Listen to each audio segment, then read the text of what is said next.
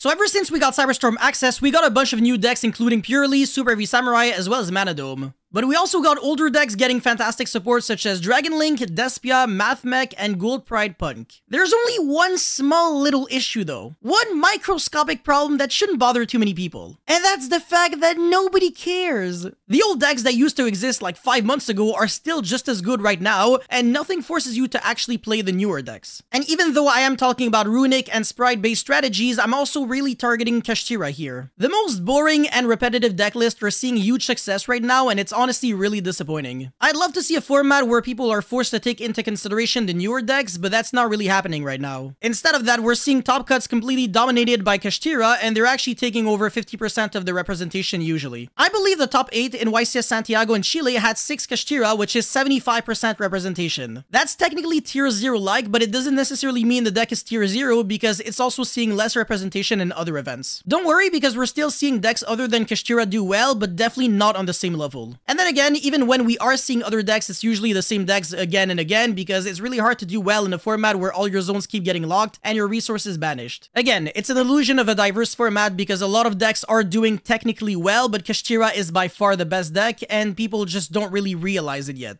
Honestly, the deck just needed to get nerfed before we got Cyberstorm Access in order to promote the newer decks. If anything, I would even go as far as to say that the new set, Cyberstorm Access, even made Kashtira better. And the reason for that is because a lot of players are now trying to deck build to beat Super Heavy Samurai, which indirectly makes Kashtira a little better. Everyone is now playing the exact same cards to counter Super Heavy Samurai, like, you know, Ghost Ogre, Droll, etc. And Ghost Ogre is relatively weak against Kashtira because, of course, it's a card that actually has to send itself to the graveyard, so under Shifter it does nothing, and against the Arise-Heart it also does nothing. And Droll is kind of like a 50-50 because if they straight up open the Unicorn, then you lose, and if you have to Droll on an empty board, they can actually Gamma you. Either way, people have less cards to side against Kashtira because they're forced to respect the newer decks which is really in the benefit of Kashtira and the older decks in general. Basically, you have to make concessions this format and kind of choose what you want to be winning against and what you want to be losing against. In a world where everybody wants to play the newer decks like Purrely, Super Heavy Samurai, Mannadium, etc., you have to deck build to beat these decks in particular. But if people say fuck that and they want to play Kashtira, then you're forced to deck build really just to beat Kashtira. You will always have dead cards against a certain deck realistically, so you just have to pick your poison at this point. Do you want to be consistently winning against Kashtira and Sprite as well as Naturia Runick or Runick Stun, or do you want to be consistently winning against Purrely and Super Heavy Samurai? Deck building is now super awkward because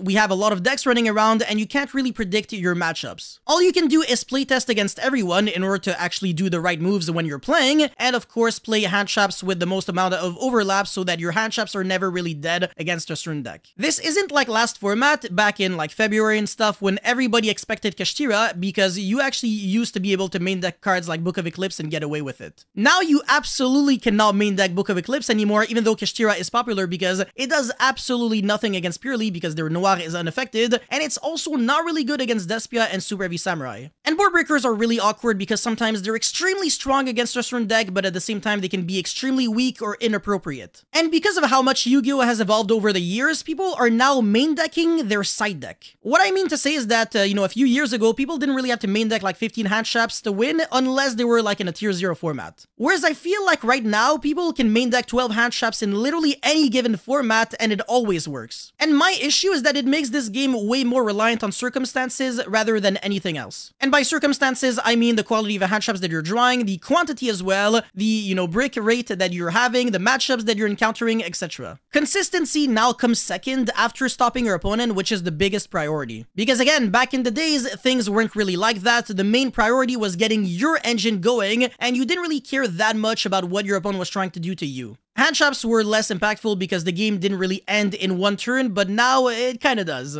In today's day and age, you just play a bunch of hand traps, a bunch of one-card combos, and hope that you draw your one-card combo, your extender, and a bunch of hand traps. If you draw too many hand traps, you lose, and if you draw too many combo cards, you lose. And this makes it so that every single format we encounter, we're always seeing the exact same kind of decks because they're always playing like 12 hand traps, a bunch of consistency cards, and there is never anything extraordinary about them. This is the absolute worst way of fixing a tier 0 format like Tearlaments format because now we're getting all their negative aspects of that format carried over to this one. You got the worst of both worlds where you need to main deck cards like hand traps to beat Super Heavy Samurai, Kaijus for Purrely, As well as Book of Eclipse, Book of Moon, whatever, in order to counter Kashtira. Sure, there might be some cards that might be decent against all three of them, but again, they will always be decent and not really fantastic. And unfortunately, because of how aggressive modern day Yu-Gi-Oh! is, you kinda need fantastic and broken cards, not really fair and balanced cards. This, again, just proves my point that the most important thing in Yu-Gi-Oh! right now is quality of your hands that you're drawing and not really quality of your gameplay. Your skill never matters if you keep getting hand to death or all your zones keep getting locked or if you're getting FTK'd, hand looped, or whatever. All you can do is deck build at the best of your capabilities, playtest a lot lot, understand trends, and understand how to counter them. And again, even with a perfect deck list, you can actually go into a tournament and not really do well because you keep getting unlucky with bad matchups or bad draws. But anyways, that's pretty much all I have to say for this video, guys. Thank you so much for watching. Don't forget to like and subscribe, and I'll see you guys very soon. Peace.